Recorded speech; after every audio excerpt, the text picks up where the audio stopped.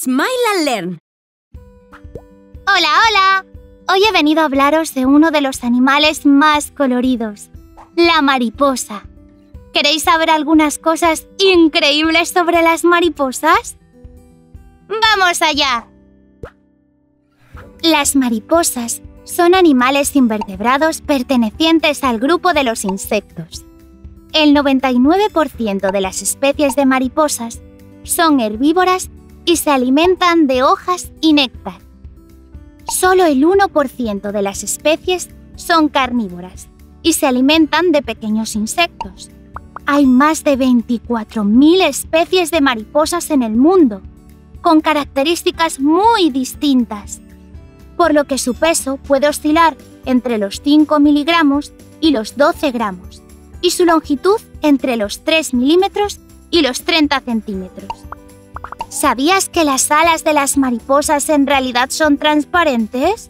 Percibimos sus llamativos colores gracias a que tienen escamas muy finas que reflejan la luz. Estas escamas, además, regulan su temperatura corporal. ¡Qué curioso! Hay cuatro fases en el ciclo de vida de una mariposa. El huevo, la larva, la crisálida o pupa y el adulto. Las mariposas nacen de huevos y durante un primer periodo son larvas, también conocidas como orugas. En esta etapa necesitan nutrirse y conseguir suficiente energía para poder crecer y construir su crisálida, una estructura donde las orugas permanecen encerradas y en reposo hasta salir ya convertidas en adultas. ¡Es alucinante! ¡Qué alas más bonitas! El proceso completo desde que salen del huevo hasta que se convierten en adultas se llama metamorfosis. Las mariposas pueden volar muy rápido. Algunas alcanzan los 20 kilómetros por hora. ¡Qué rápido para ser tan pequeñitas! ¿Y crees que sus patas les sirven solo para caminar? Pues no. Los receptores gustativos de las mariposas están en las patas así que les sirven para saber si algo es comestible. Se cree que el máximo número de huevos que puede poner una mariposa de una sola vez es 500, aunque no todos llegan a la edad adulta. ¿Y sabías que las mariposas viven muy poquito?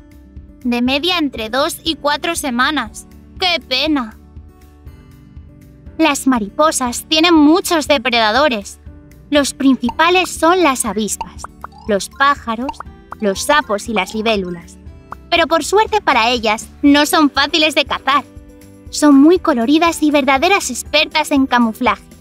Muchas tienen la capacidad de mimetizarse, es decir, de volverse del mismo color que su entorno para pasar desapercibidas. ¡Guau!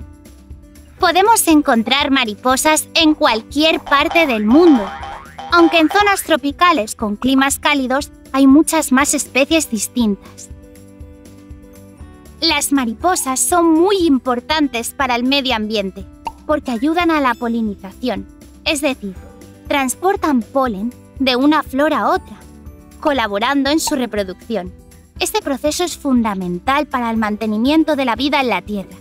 Así que si te encuentras una mariposa en tu camino, no la molestes, está haciendo algo muy importante. Bueno, ya habéis aprendido algunas cosas sobre estos animales tan coloridos. ¡Hasta la próxima!